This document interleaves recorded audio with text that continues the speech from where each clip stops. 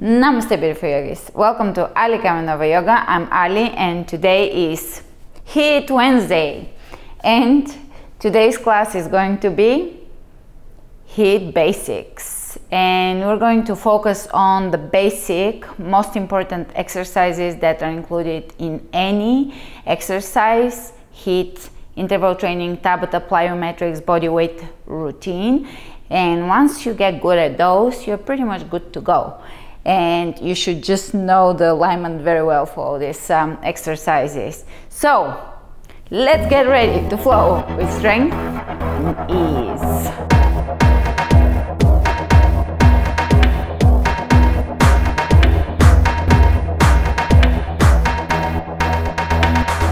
So I'm quickly gonna show you the exercises and then we'll begin. We're also going to uh, do a five minute um, ab burnout after the workout.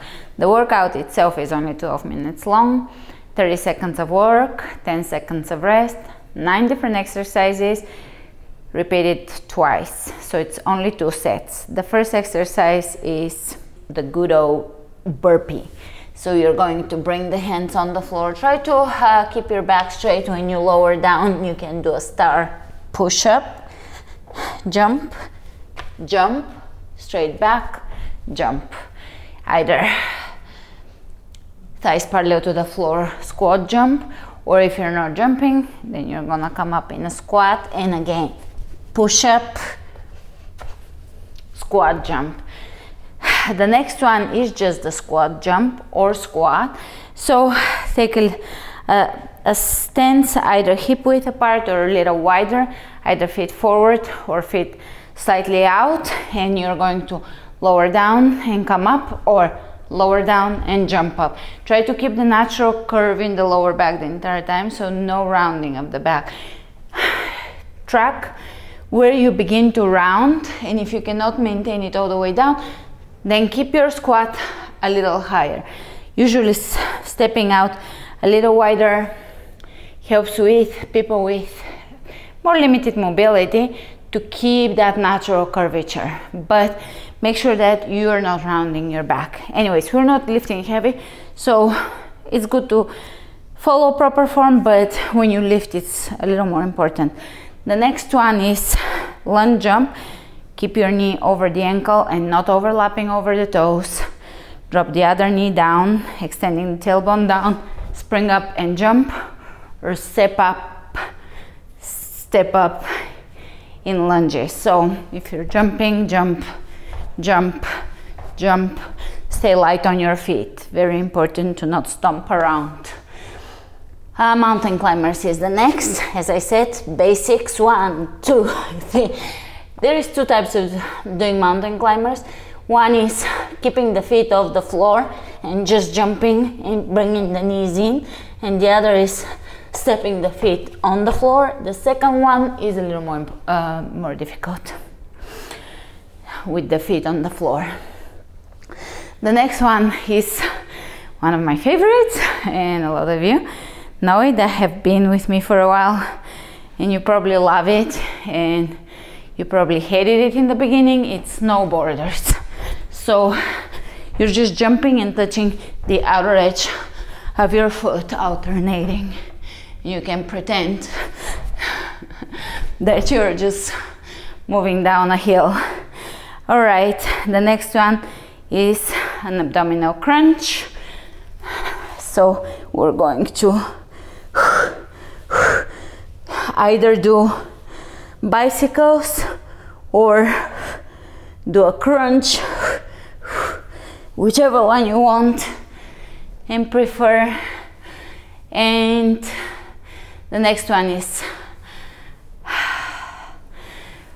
plank jumps. So hands on the floor. And you can either do star plank jumps where the feet are jumping out or plank jumps. Feet to the wrist and back. The other option is star plank jumps. Again, silent feet. Last exercise, which is bilateral. So we do one set on one side and then on the other. One cycle, it is side crunch. So you're going to really squeeze your belly, use your bottom arm for support and really drive the move through your abs. Don't crunch the neck or anything like that. Just really move your body from the core. Initiate the movement from there. So that is it. Those are the exercises. The last cycle is the same crunch on the left side, and then we come. Uh, then we'll repeat everything one more time for a total of 12 minutes. After that, we'll do a little ab burn and we'll be good to go. All right, are you ready? I'll turn the time around. Starting session. Burpee. Four, three, two, one, go. Squat, push up, squat, push up.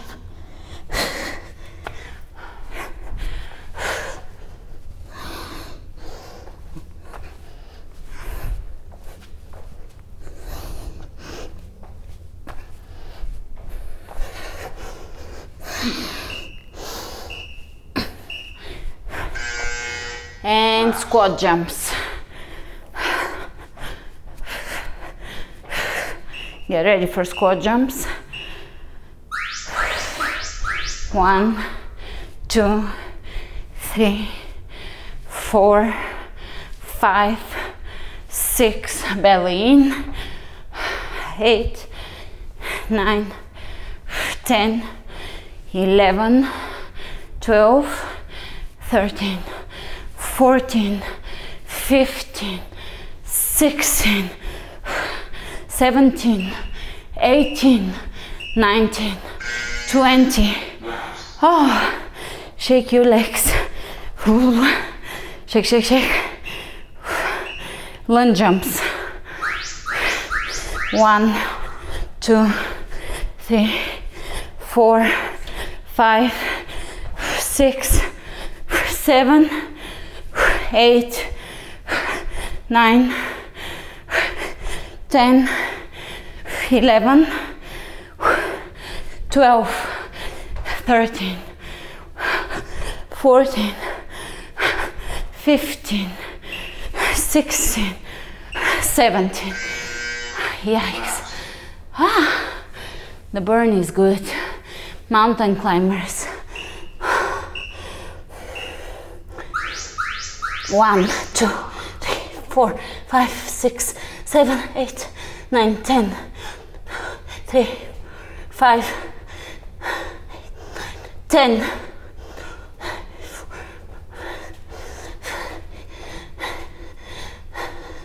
Four, five, six, seven, eight, nine, forty.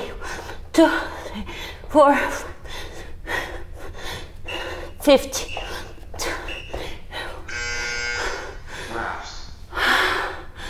Probably 57 snowboarders. You can do it. Move at your own speed, but push yourself a little bit. Wednesday and the day of Mercury. Communication, brainstorming, ideas, writing and talking, and we're getting our juices flowing with the workout.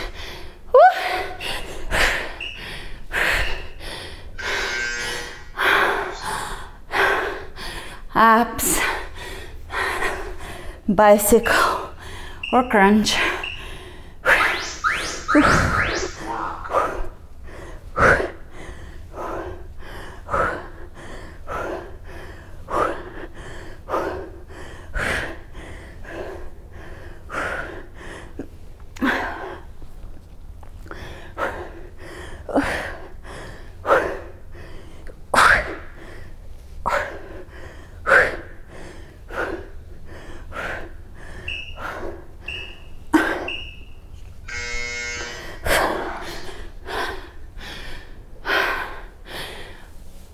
Plank jumps. So the last four row abs. star plank or plank jumps.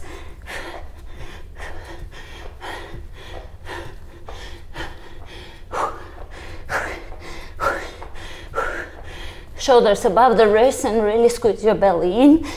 Try to flatten the back. Spread the fingers wide open. You can do this on your elbows as well and forearms.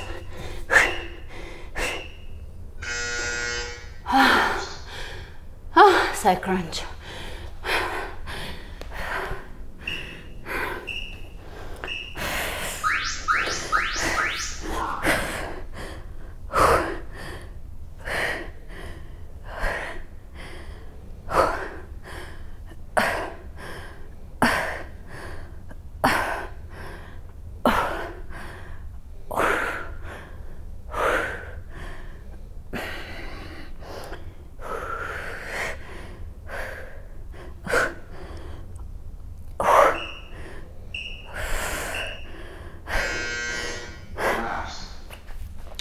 Opposite side.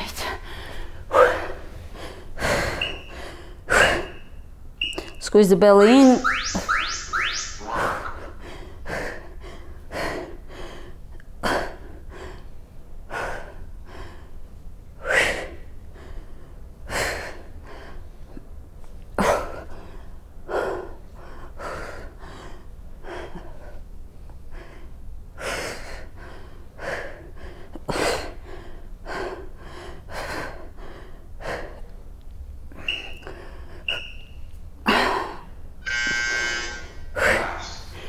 All right, we're done. Halfway in, peel yourself off the floor, burpees.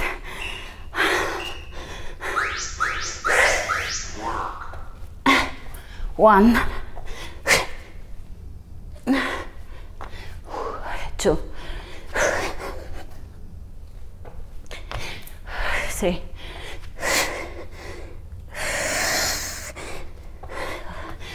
four, five, six, squat jumps. So the leg portion begins. Squat, jump, squat, jump. Three, four, five, six, seven, eight, nine, ten, eleven, twelve, thirteen, fourteen, fifteen, sixteen, seventeen, eighteen, nineteen. All right, good enough. I've put them back to back, lunge jumps on purpose, so we build that endurance. Two, three, four, five, six, ah, seven, eight, straight back, open chest, nine, ten, eleven, twelve, thirteen, fourteen, go, fifteen,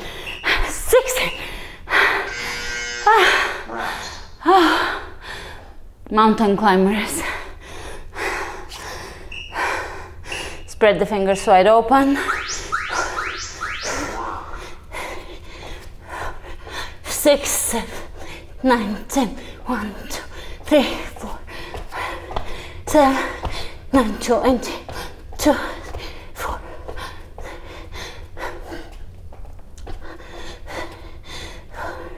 Five, six, eight, nine,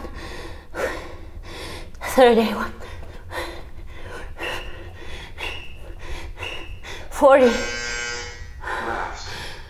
You see how the numbers are slowly creeping down, snowboarders.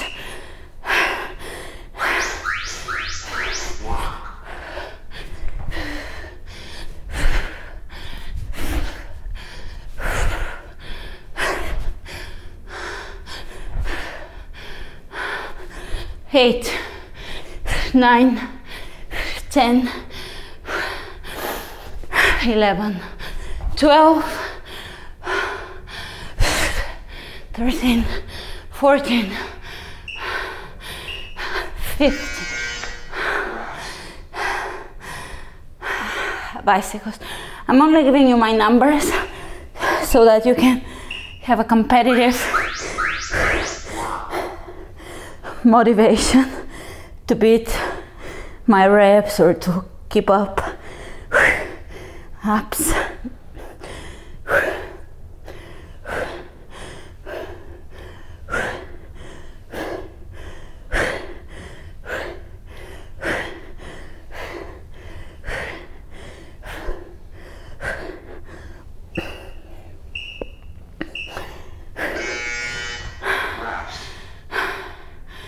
plank jumps.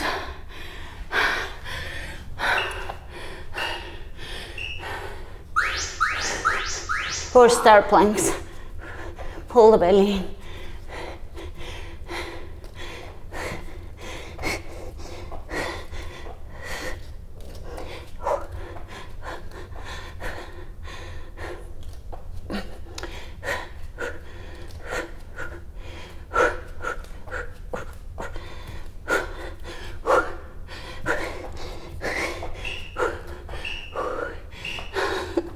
All right, two side crunches, and that's the end.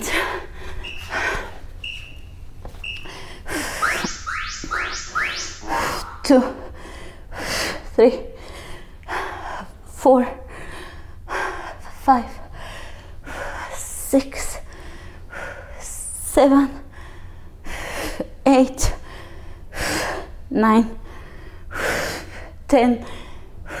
11, 12, 13, 14, 15, 16,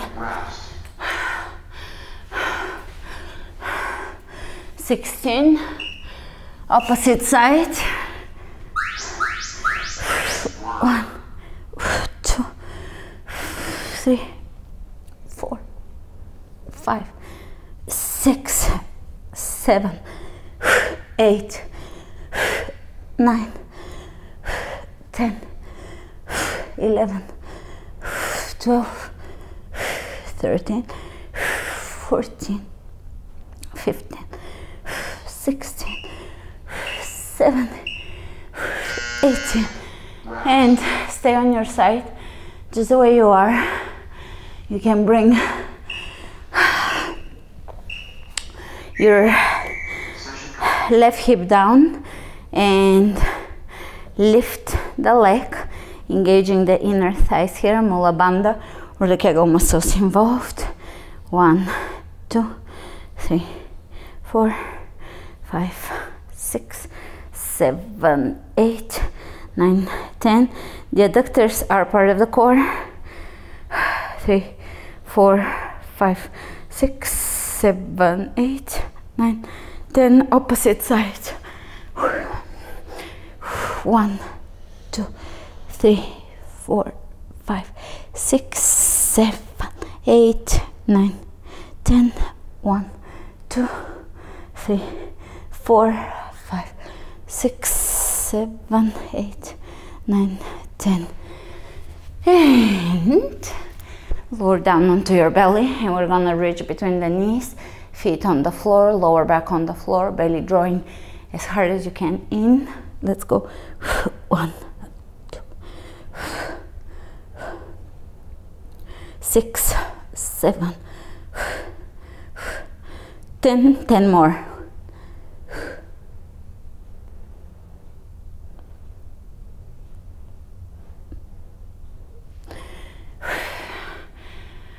Cross your feet, and here we're going to bring the hands behind and bring opposite elbow to knee. One, two, three, four, five, six, seven, eight, nine, ten, eleven, twelve, thirteen, fourteen, fifteen, sixteen, seventeen, eighteen, nineteen, twenty. A few pelvic tilts to bring your awareness back into the TVA, the deep abdominal muscles. As you do a pelvic tilt, you're gonna lift the tailbone, press the lower back into the floor and really feel the subtleties of the abdominal muscles. Flexing, flex.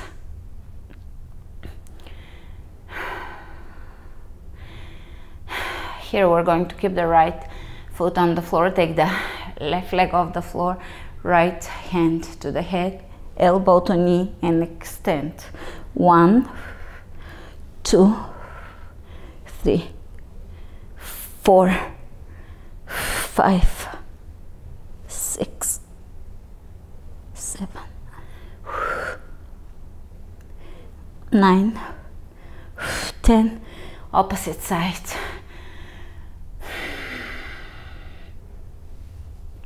One, two, three, four, five, six, seven, eight, nine, ten. Bend your knees. Press the lower back into the ground. And here we're going to bring the right knee in towards you and the left knee will travel down towards the floor and back up and travel and back up. Now you can have your knees further away, but this one is a little easier to control.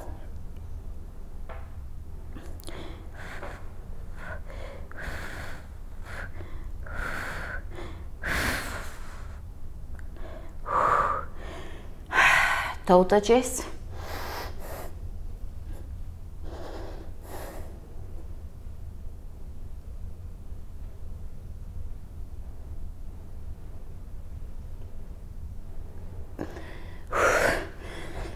Side plank on the elbows.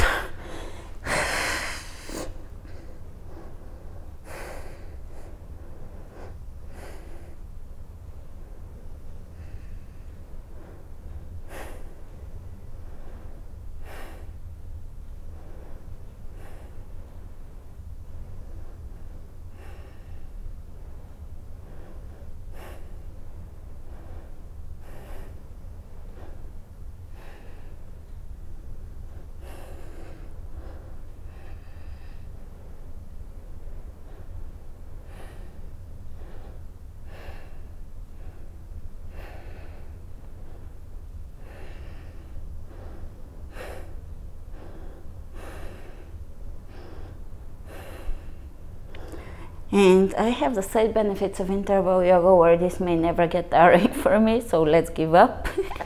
And opposite side.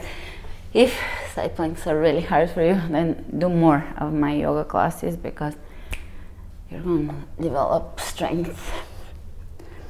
Opposite side. Very important here is to stack the shoulder on top of the elbow. Don't your elbow way ahead of you. That puts a lot of strain on the shoulder joint. Keep your hips lifted and stacked on top of each other. So no sagging, lifting, and the left hip is on top of the right. The left shoulder is on top of the right shoulder. Soften your breath and think of this as an easy pose, one that you can just breathe through. The mind is everything. Athletes often use those types of techniques to achieve their goals. so, same goes for us. We have to envision ease through challenging workout, challenging situations in life, and so forth. We have to learn to breeze through. And we never get there, we just keep going. Keep learning.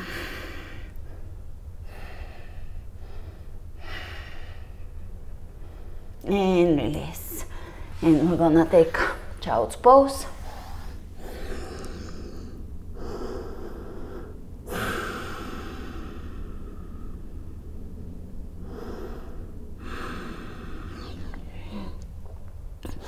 Coming onto all fours arch. And round the back cat cow pose arch. And round arch and round arch and round arch and round arch and round and sit back. Take a big breath in. Look over the right shoulder and over the left one more time. And now let's lower the right ear over the uh, right shoulder left ear over the left shoulder right left right left. Look up and lengthen the back of the neck chin down. Look up. When you bring the chin down feel the back of the neck stretching. One more.